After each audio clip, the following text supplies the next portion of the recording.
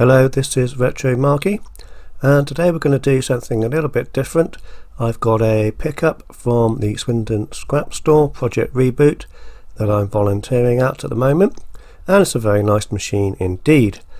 So we're going to have a look inside of it, we're going to see what's there and what's missing, do a little bit of cleaning and then get the machine hopefully up and running, all being well.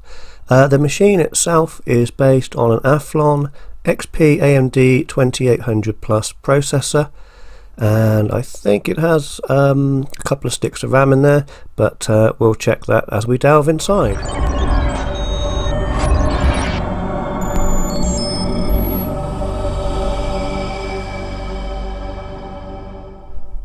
So we've got some nice ports at the front that cover up the floppy drive and a couple of CD and DVD drives. Around the side here got a lovely Packard Bell logo and a lovely grey sort of sheen around the edge. Very nice looking machine indeed. Around the back usual array of ports. We've got parallel serial ethernet and some audio ports and of course some USB sockets and PS2 mouse and keyboard. The monitor itself is matching and absolutely gorgeous. It is a 14 inch. Here's the side view and after a bit of scrubbing has come out really well. It's a very light monitor and very almost a bit sort of retro sci-fi in my opinion. Now as a strange feature it can do this which actually makes the amount of space it takes up a lot less and it looks really really elegant. Now just look at that bad boy. So here we are with the keyboard as well which does match and some speakers that have popped out of nowhere. These also kind of match. The one on the right is slightly yellowed. You can't tell that from the picture but um, they are working and they do sort of add to the overall elegance and aesthetics of the machine. I believe it was designed in France. It does have that kind of French feel to it. I mean that in a good way. So let's power on and see what's working and what's not working or what's there and what's not. So booting at the computer, so far so good. The BIOS is booting just fine we have a disk boot failure so there's a good chance we don't have a hard drive or the hard drive is damaged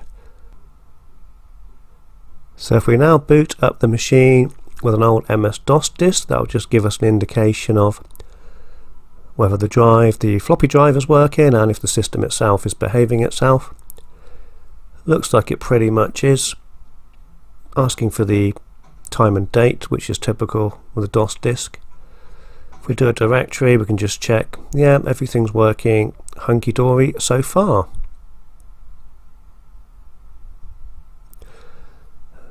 Delving into the machine, we'll have to take off the side case here. Now this comes off rather easily, which I really, really like.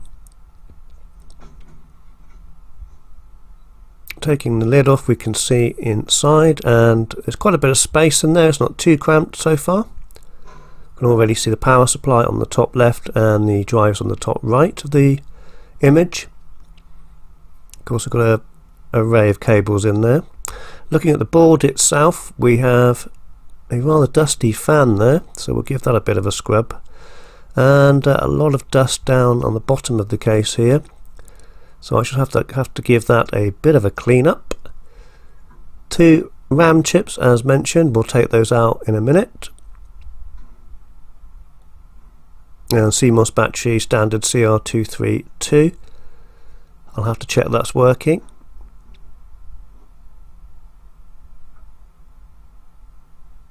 Other than that it's looking pretty clean and tidy. We've got the drive bays here. And the hard drive cable. Obviously the hard drive has been removed. And a power cable there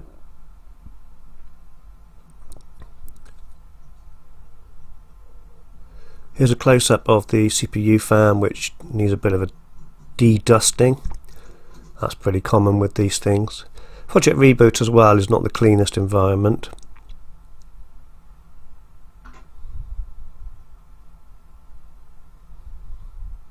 Here's a close-up of the dust. And I'll use a combination of things to, to de-dust it. Unfortunately I don't have a professional blower here. Who does? But um, I'm sure I can get that out. Looks like there's no major stains or marks or leakages or anything to worry about, it's just uh, dust. So overall it looks pretty clean and tidy inside of here.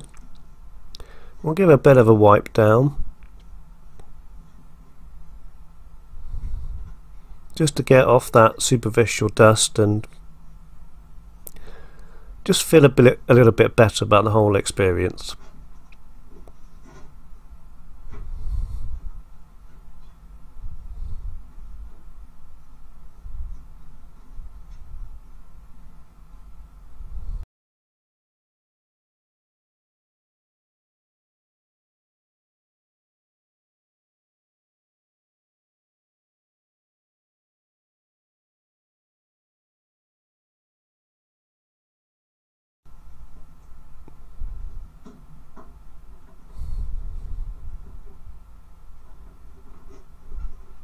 If you get a really dirty system, of course, it would be worth removing all the components and cleaning the case.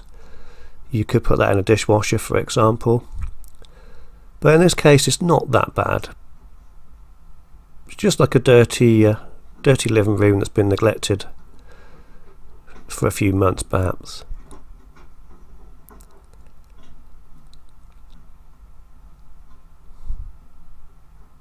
So I'll give that a bit of a scrub down, a bit of a dust de-dusting.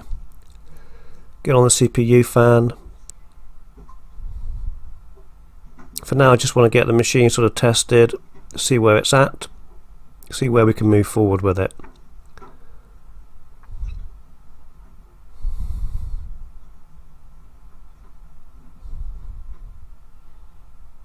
and that's nice and clean. Toothbrush can also help to get to those hard to reach areas.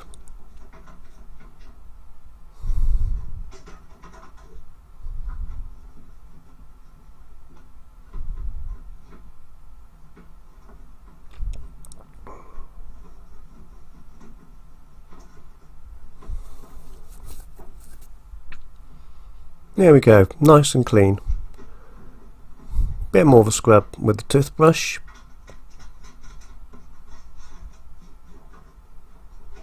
Also using a couple of old paint brushes can help.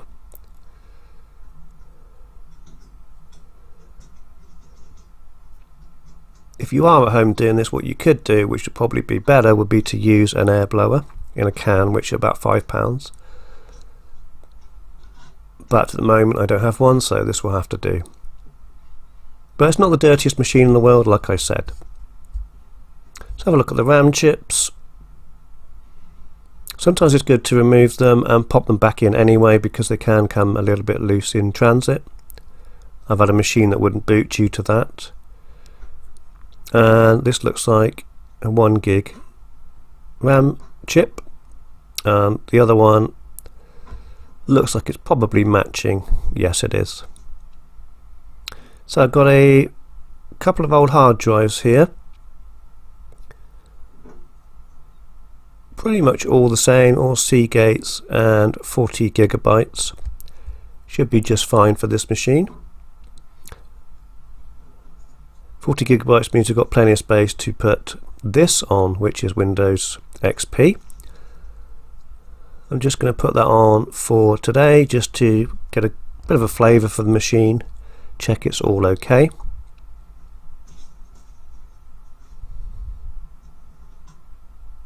We'll pop the RAM, RAM chips back in. And here's a close-up of the hard drive which is a Seagate ATA 3 and it has a Hewlett Packard logo on it as well back of the drive we've got the jumpers. So you can set that for master or slave or what have you.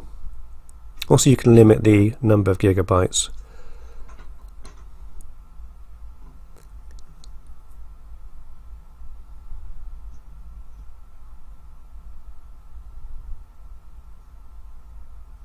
So here are the jumper settings on the drive as you can see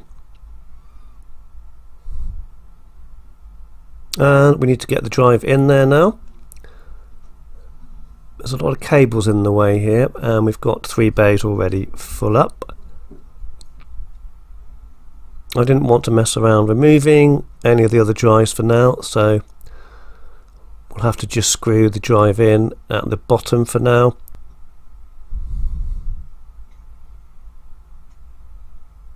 In this case I'm going to connect the cables first because once the drive's in it's quite difficult to get the connectors in especially in a cramped space like this with all this cabling going on.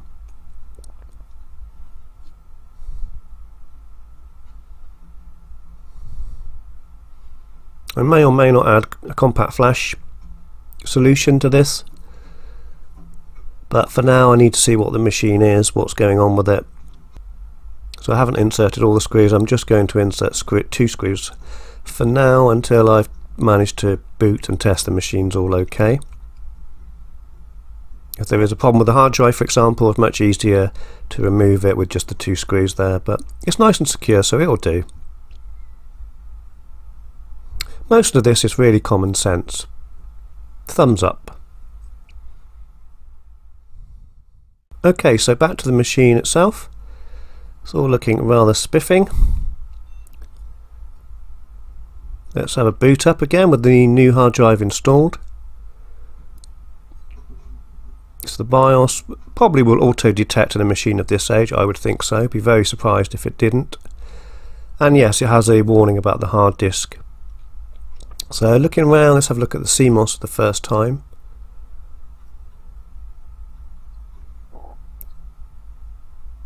a lot of options in here, not too many that we need to fiddle with right at the moment.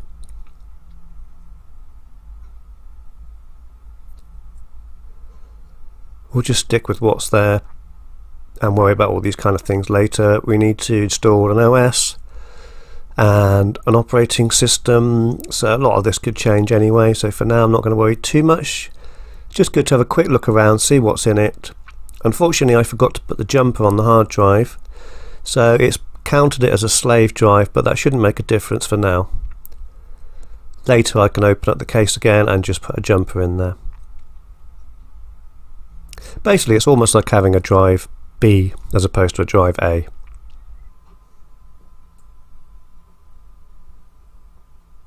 Here actually we can check the voltages For some machines I do check the voltages on a multimeter before powering on, but in the case of this one the condition is remarkably good.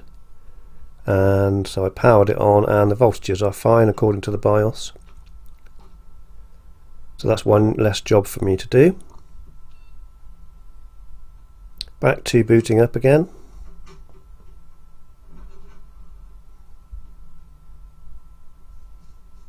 Here's the boot screen which is a Phoenix Award BIOS and here's our Windows XP disk we're ready to install. Don't worry I won't show you the whole process just a few bits and bobs for those who are interested uh, maybe I'll speed up a few bits or cut them out completely. So if we reboot the machine now we can start the installation of Windows XP as it says on screen boot from CD. I wanted to put XP because this is the operating system that originally came with the machine. So with this machine I'm trying to keep it pretty much like it was originally. To the extent that I can of course. The hard drive is not the standard one that came with it but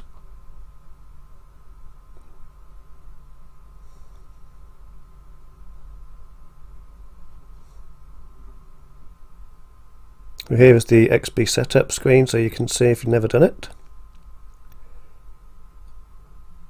I didn't have a home copy to hand so I'm installing XP Professional but they're very similar. So we can see there the hard disk and we're now copying the files across to it.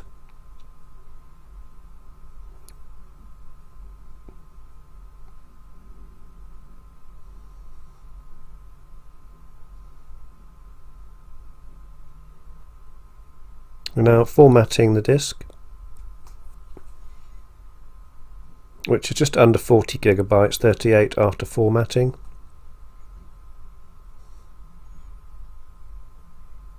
Reboot the computer again.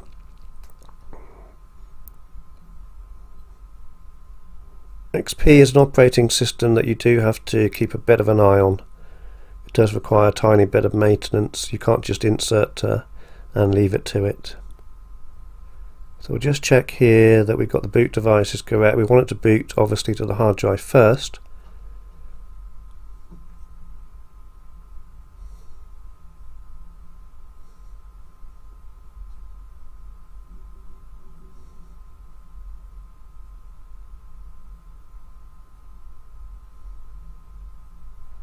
Here's our Windows XP splash screen.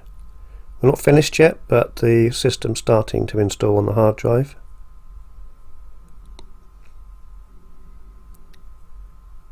Keen-eared listeners might notice the hard drive sound now as it's writing the data onto it. It's quite a noisy hard drive this one. I might have to consider whether to leave that one in there or not. Bing XP insists on taking our telephone number. This is because it automatically installs some of the networking protocols.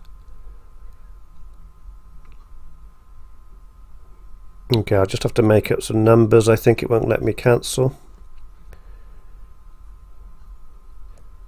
Make sure we're in the United Kingdom.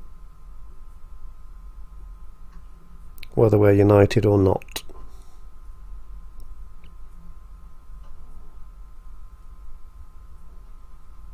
Okay, now we've got the next icon, we can just get past this. Time and date settings, pretty much worry about that later and we'll carry on installing. Hmm, listen to that lovely hard drive. Mechanical goodness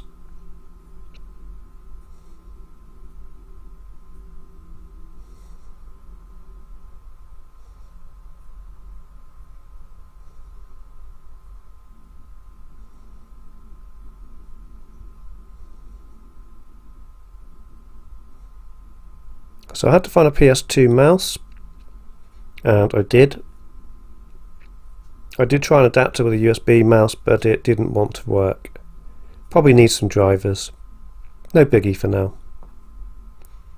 Like I said, just want to show you the machine, make sure it's working.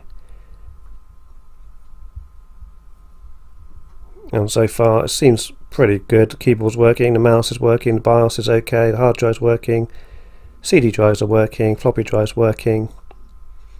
XP seems to have installed okay. Have a quick look around. I still think this operating system looks quite modern, but you might disagree. Love these old uh, screensavers. Classic.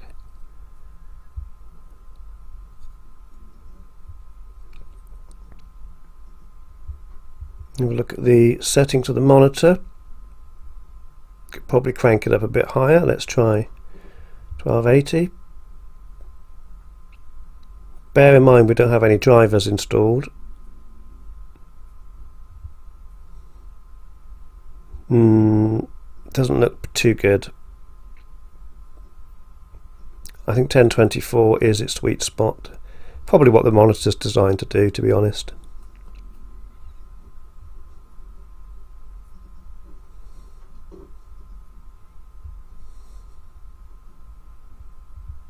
Quick look around, see what we've got. It's always nice to confirm what Windows has picked up. Let's get to our classic settings. I like to do old school like this.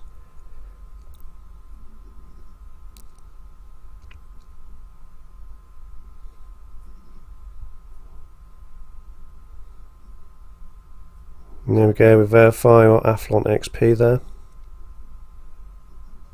Look at the device manager. Yeah, there's a few things without drivers. It's also a nice way of seeing exactly what you've got inside your box.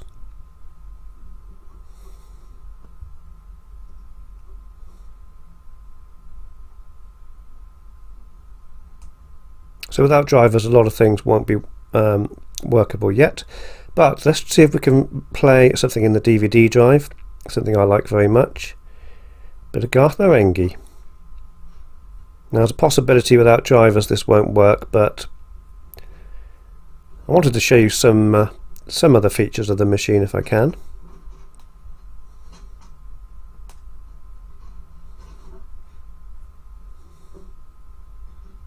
Okay, so let's fire up that disk.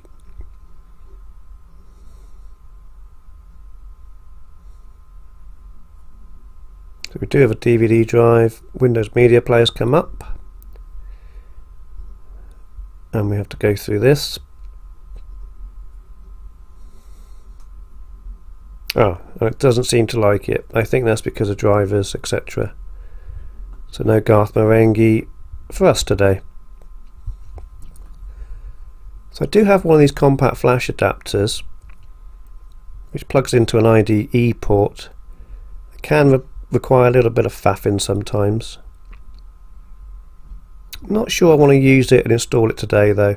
What I have done is get a USB stick and put a few games on, not many, just enough to sample the system.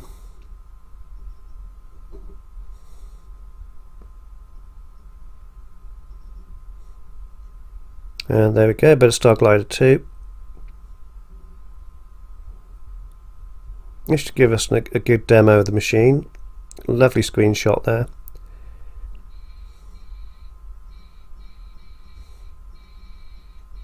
So there we go, that's pretty much all I wanted to show for today. I might do a follow-up video. If anyone's got any comments then please comment. If you've got any questions then please question. If you like this then uh, then like it by clicking the like button of course and consider subscribing and also consider Project Reboot for your bargain PC deals. Thanks for watching. Retro Marky out.